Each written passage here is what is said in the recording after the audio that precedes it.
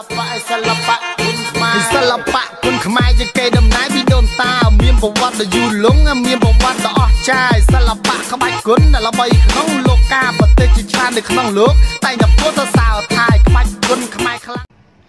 បាទក៏សូមអរកាយគោរពស្វាគមន៍ប្រិយមិត្តវិលមកកាន់ Channel YouTube ប្រដាល់ KH ឬក៏គុណខ្មែរប្រដាល់ដែលមានខ្ញុំបានស្តង់ដារជាអ្នកអត្ថាធិប្បាយផ្ទាល់នៅក្នុង Channel បានវិលត្រឡប់មកវិញទៀតហើយហើយក៏បានដកស្រង់នៅជាព័ត៌មានថ្មីក្តៅដែលកំពុងតែផ្ទុះនៅតាមបណ្ដាញសង្គមដើម្បីលើកយកមកជម្រាបចែកជូនដល់ប្រិយមិត្តសម្ដាប់និងទស្សនាវីដេអូនៅក្នុង Channel ប្រដាល់ KH យើងខ្ញុំ បើពេញចិត្តសូមកុំភ្លេចចុចជីវឬក៏ Subscribe ម្នាក់មួយផងដើម្បីទទួលបាននូវព័ត៌មានថ្មីថ្មីក្តៅក្តៅនៅក្នុងដៃអស់លោកអ្នកភ្លាមភ្លាមឲ្យតែមានអ៊ីនធឺណិតហើយនៅថ្ងៃនេះយើងមានជាសាច់រឿងថ្មីដែលតាក់ទងទៅនឹងដំណឹងរបស់កីឡាករសុកធីដែលបានអឺដំណឹងពីបងប្រុសមុតដេវីតនៅពុកម៉ែបងប្អូនដែលគាត់បានឆាតមកខ្ញុំ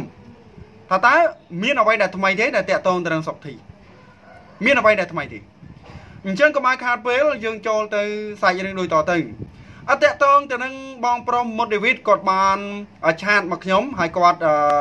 បានសរសេរថាខ្ញុំរស់នៅប្រទេសថៃ11ឆ្នាំហើយនិយាយរឿងគុណខ្មែរឈឺចាប់ណាស់ពិសេសពេលឃើញវីដេអូរបស់បងរឹតតែឈឺចាប់ទៀតគាត់និយាយថាកីឡាករយើងកាលបានល្បីដូចគេគឺពិសេសបណ្ដាលនៅប៉ុស្តិ៍លេខ7 គឺគេវាយបែកផ្សែងគាត់តែសេណាខ្ញុំអានឲ្យទ្រុសទ្រុសពុកម៉ែបងប្អូនសពថ្ងៃខ្ញុំសង្ឃឹមតែថោនទេគាត់និយាយចឹងហើយគាត់តាក់ទងទៅនឹងកីឡាករសុកធីគាត់បាននិយាយណាអឺគាត់គាត់ថានៅថៃច្បាប់នៃការប្រកួតរបស់គេគឺតឹងរឹងណាស់សុកធីនៅខ្មែរវាយធ្លាក់តែឥឡូវឥឡូវមកថៃណាវិញคลายជាសុកធីហើយគាត់និយាយចឹងគាត់ថា ហើយមួយទៀតគាត់បានលើកឡើងថាពេលនេះគាត់ប្រឹងណាស់បើគាត់កុំតែកូវីដកុំអីសុកធីអាចនឹងល្បីជាងមុនអញ្ចឹងតាក់ទងទៅនឹងបងប្រុសមុតអេវីតនេះគាត់អាចនិយាយបានថាគាត់ជាអ្នកគ្រប់គ្រងវិស័យកីឡាបដាល់គុណខ្មែរមួយរូបហើយគាត់ថាគាត់រស់នៅក្បែរកន្លែងសុកធីហាត់នឹងតែម្ដងនៅថៃហ្នឹងគាត់និយាយថាពេលនេះសុកធីកំពុងតែប្រឹងប្រែងហ្វឹកហាត់ រឹកតែពេលដេកមិនបានរឹកតែពេលដេកនៅមិនបានហើយខ្ញុំចង់ឆ្ងល់ថាចេះ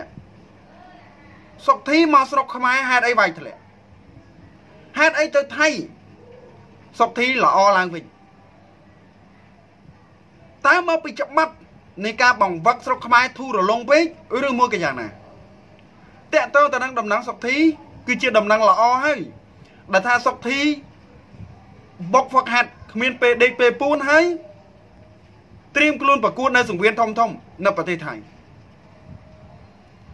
ហើយគាត់ប្រកាសថាគាត់ឈប់មកវាយនៅទឹកដីកម្ពុជាទៀតហើយស្ថានីយ៍ណាក៏ដោយនឹងតកតងទៅនឹងសុកធីហើយគាត់បានលើកឡើងថាតកតងទៅនឹងការអាងបាក់អាងពុអាងខ្សែអាងខ្នងគាត់និយាយចឹងណាការឡាយរបស់គាត់មុនអញ្ចឹងតកតងទៅនឹងដំណឹងរបស់កីឡាករសុកធីនៅពេលនេះ គឺសុកធីនៅតែវាយតំណាងឲ្យកម្ពុជា សុកធីនៅតែជាឈាមជ័រខ្មែរនៅតែវាយតំណាងឲ្យខ្មែរសម្បីតែវាយនៅលំពិនីថ្ងៃមុនវាយគូឯកផងសុកធីឈ្នះសុកធីនៅតែនិយាយថាឲ្យពុកម៉ែបងប្អូនខ្មែរជួយគ្រប់គ្រងផង តាក់តងទៅនឹងមកឃ្លានេះខ្ញុំស្ដាប់ស្ទើរស្រក់ទឹកភ្នែកនេះអាណត្តិគាត់អាណត្តិសុកធីហើយមួយវិញទៀតខ្ញុំចង់និយាយថា ទៅទីណាដែលគេត្រូវការយើងគុំទៅកន្លែងណាដែលគេមិនត្រូវការយើងអ្នកគ្រប់គ្រងមួយចំនួន គឺហាក់បីដូចជាចង់ជន់សុកធីឲ្យលិចទៅនឹងភក់អញ្ចឹង តែតាមកំណត់ខ្ញុំវិញខ្ញុំអត់ចង់ឲ្យធ្វើអញ្ចឹងទេខ្ញុំចង់ឲ្យពួកយើងចាប់ដៃគ្នាពិភាក្សាគ្នាខុសត្រង់ចំណុចណាខមមិនមកណានិយាយមកឥឡូវនេះសុកធីគេប្រឹងប្រែងណាពីព្រោះអីគេដឹងថាគេនឹងត្រូវប្រកួត នៅ One Championship ត្រូវប៉ះនឹងកីឡាករវៀតណាមទី1ទី2គេត្រៀមខ្លួនវាយនៅសង្វៀនធំធំនៅស្រុកថៃ ណានេះគឺជាសាច់រឿងមួយដែលតាក់ទងទៅរឿងសុកធីហើយនៅពេលនេះបងប្រុសមុតដេវីតក៏បានផ្ដល់ដំណឹងមកថាសុកធីគឺកំពុងតែបុកហ្វឹកហាត់ខ្លាំងខ្លាមែនទែននៅស្រុកសៀមហើយនេះគឺជាដំណឹងថ្មីដែលពុកម៉ែបងប្អូនចង់ដឹងពីដំណឹងសុកធីដែលថាអសុកធីឥឡូវមិនហើយណាអីយ៉ាងម៉េចហើយ ឥឡូវនេះក៏ដឹងហើយសុកធីសុខសบายទេហើយកំពុងតែហ្វឹកហាត់ឲ្យខ្លាំងហើយមួយរយៈទៀតបងប្រុសមុតដេវីតនឹងគាត់លើកឡើងថាអឺកីឡាករសុកធីអាចនឹងល្បីខ្លាំងជាងមុនទៀតតើតើទៅនឹងការប្រកួតហើយខ្ញុំអត់ដឹងថាគូតែនិយាយបានណាឲ្យត្រូវដោយសារតែបញ្ហាការវាយចាញ់តាំងតែពីពេលដែលកីឡាករ សុកធីប្រកួតចាញ់កីឡាករប៊ុនសធាមកគឺឃើញថាមានការរិះគន់ខ្លាំងមែនទែនហើយមួយរយៈចុងក្រោយនេះក៏មានអ្នកខមមិនថាសុកធីមិនបាច់មកវាយស្រុកខ្មែរទេទេសត្វតាផ្លេចកំណើតអីជាដើមគឺកុំកុំកុំនិយាយចឹងអីបើគេផ្លេចកំណើតណាមិនគេវាយឈ្នះហើយគេប្រកាសនៅស្រុកថៃថាឲ្យប្រជាជនកម្ពុជា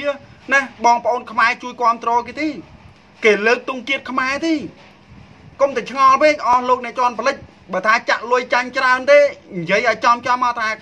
ថ្ងៃដែលកីឡាករសុកធីវាយចាញ់បុនសធាចាញ់លុយអស់ច្រើនណាស់និយាយចឹងទៅឲ្យត្រូវហើយមករយៈនេះសុកធីប្រហែលជាអាចនឹងឈឺចាប់ជាមួយនឹងកីឡាករប៊ូខាវវៀតណាមណាប៊ូខាវវៀតណាមដែលត្រង់ថាកីឡាករនេះគេប្រកាសថានឹងវាយកីឡាករសុកធីឲ្យដេកតែម្ដងហើយគេបន្តដំណើរទៅប៉ះកីឡាកររត់ທາງទៅដើមខ្សែក្បាត់ពិភពលោក អាចជាការឈឺចាប់មួយដែរពេលដែលកីឡាករវៀតណាមមើលស្រាលពីសមត្ថភាពរបស់កីឡាករសុកធីណាអានេះក៏ជាចំណុចមួយដែរហើយកីឡាករវៀតណាមហ្នឹង3ប្រកួត នៅវ៉ាន់អត់ដែរចាញ់ទេណា2 3ប្រកួតហើយអត់ដែរចាញ់ទេអញ្ចឹងបើសិនជាសុកធីអាចបំបាក់កីឡាករវៀតណាមនឹងបានខ្ញុំថាប្រជាប្រិយភាពឡើងកាន់តែខ្លាំងមកនៅសុកធីចាញ់នៅវ៉ាន់2 3ប្រកួតហើយសុកធីនៅល្បីទៀតណាបើសិនជាសុកធី វាយឈ្នះកីឡាករវៀតណាមខ្ញុំហ៊ាននិយាយថាសុកធីនឹងកាន់តែល្បីណានឹងកាន់តែល្បីហើយអ្វីដែលខ្ញុំចង់និយាយមួយទៀតពុកម៉ែបងប្អូនណាគឺឃើញថាប្រជាជនកម្ពុជា គួរតែងាកមកគ្រប់គ្រងរបស់ជាតិសាសន៍ខ្លួនកុំទៅគ្រប់គ្រងរបស់គេខ្លាំងពេកម្នាក់ម្នាក់ចេះថាអឺ ក្បាច់ខ្មែរអន់ណាបាត់ធៀបនឹងក្បាច់ថៃហើយបើយើងម្នាក់ម្នាក់ទៅសរសើរតែក្បាច់គេចុងហើយយើងអត់មានគិតថា គេយកពីយើងទៅ គេបំបែកពីយើងទៅអីយើងអ្នកអ្នកខ្លះគឺអត់គិតទេហើយគ្រប់ត្រូលណារបស់សៀមហ្នឹងហើយរបស់ខ្មែរយើងអត់គ្រប់ត្រូលទេធ្វើអីក៏ដោយអានេះខ្ញុំនិយាយការពិតមក របស់ខ្មែរយើងនឹងអន់ណាចេះចុះបថោកណាមិនសូវឲ្យតម្លៃតាអត់ទាន់ដឹងថាសៀមហ្នឹងគេទិញរបស់ខ្មែរយើងយកទៅហូបដូចតែគ្នាហ្នឹងគេថារបស់ខ្មែរយើងអត់គីមីយល់ទេអាហ្នឹងយើងនិយាយឲ្យត្រង់ចឹងហ្មងទៅឯយើងវិញគឺអត់ទេយើងគ្រប់ត្រណារបស់វៀតណាមរបស់អីហ្នឹងណាហើយដឹងស្រាប់ហើយអាហ្នឹងខ្ញុំនិយាយការពិតហ្មងកម្ពុជាយើងសពថ្ងៃមួយចំនួនធំ ដែលគិតពីបញ្ហានោះដែលខ្ញុំលើកឡើងនោះមិនមែនខ្ញុំលើកឡើងឲ្យយើងស្អប់ជាតិសាសន៍ដទៃទេគឺអត់ទេមនុស្សជាតិដូចតែគ្នាទេក៏ប៉ុន្តែខ្ញុំចង់ឲ្យគ្រប់គ្រងអ្វីដែលជារបស់ខ្មែរពិតប្រាកដឥឡូវដូចសុកធីអញ្ចឹងសុកធីកូនខ្មែរអ្នកខាងប្រទេសមានជ័យហើយពុកម៉ែបងប្អូនបែរជានាំគ្នាទៅស្អប់ទៅជេរទៅដៀលទៅថ្មេះកីឡាករសុកធីគាត់អ្នកគ្នាវាយចាញ់ពីប្រកួតណាសោះហ្នឹង ចាំបាច់ធ្វើដល់ថ្នាក់ហ្នឹងឥឡូវនេះសុកធីកំពុងតែបុកហ្វឹកហាត់ហើយដំណឹងនេះទទួលបានពីបងប្រុសមុតដេវីតកំពុងតែបុកហ្វឹកហាត់មិនដេកមិនពូនទេនៅស្រុកសៀមណានៅស្រុកថៃហើយគេគាត់និយាយថានៅស្រុកថៃគេគិតគូកីឡាករណាគេស្រឡាញ់កីឡាករណាអញ្ចឹងបានថាខុសគ្នាទៅត្រង់ហ្នឹងថាត្រង់នៅថៃគេគិតគូកីឡាករល្អជាងនៅយើងតែប៉ុណ្ណឹងគាត់លើកឡើងចុងមិនមែនជាទស្សនៈរបស់ខ្ញុំទេណាឃើញពីចំណុចអវិជ្ជមានឬក៏វិជ្ជមានអីខ្ញុំអត់និយាយទេ គាត់ថានេះជាការផ្ដាល់ព័ត៌មានមកពីស្រុកសៀមវិញណាបងប្រុសមុតឌីវីតនឹងហើយចូលរួមខមមិនទាំងអស់គ្នាទៅបើសិនជាខ្ញុំនិយាយទៅលើលួត្រូវខុសត្រង់ចំណុចណាក៏សំខាន់តែអភ័យទោសហើយខ្ញុំក៏សង្ឃឹមថាកីឡាករសុកធីចេះឈឺចាប់ក្រោយពេលដែលកីឡាករវៀតណាមមើលស្រាលខ្លាំងមែនទែនថានឹងវាយសុកធីឲ្យដេកនៅលើសង្វៀនសម្រាប់ការជួបគ្នានៅ One Championship ហើយជាចុងក្រោយបដាល់ KA ក៏ដូចជាខ្ញុំបានស្តង់ដែរបើមានកំហុសខុសឆ្គងក៏សំខាន់តែអភ័យទោសជាចុងក្រោយសូមជម្រាបលាបាទសិល្បៈសិល្បៈគុណខ្មែរសិល្បៈគុណខ្មែរជាកេរដំណែលពីដូនតា មានប្រវត្តិដ៏យូរលង់មានប្រវត្តិដ៏អស្ចារ្យសិល្បៈក្បាច់គុណដែលល្បីក្នុងលោកាប្រទេសជាច្រើននៅក្នុងលោកតែងតែពោលសរសើរថាក្បាច់